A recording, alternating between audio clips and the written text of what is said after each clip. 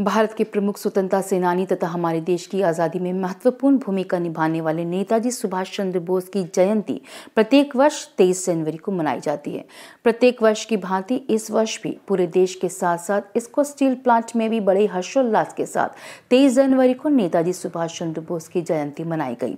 इस अवसर पर बनपुर स्थित भारतीय भवन के प्रांगण में बनपुर एवं दुर्गापुर इस्पात संयंत्र के director incharge Shri BP Singh ने राष्ट्र ध्वज फहराकर इस दिन की शुरुआत की।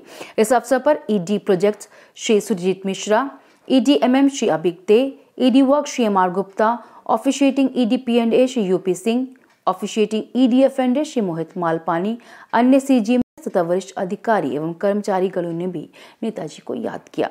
तत्पश्चात भारतीय भवन परिसर में स्थित नेताजी ग्रंथागार में नेताजी की प्रतिमा पर श्री बीपी सिंह ने माल्यार्पण कर श्रद्धांजलि दी।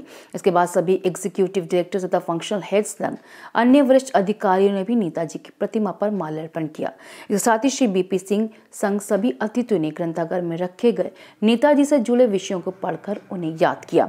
तदुपरांत दस नंबर गेट भारतीय भवन समीप स्थित नेताजी की आदमकद प्रतिमा पर director incharge Shri BP Singh ने पुष्प अर्पित कर नेताजी को श्रद्धांजलि दी।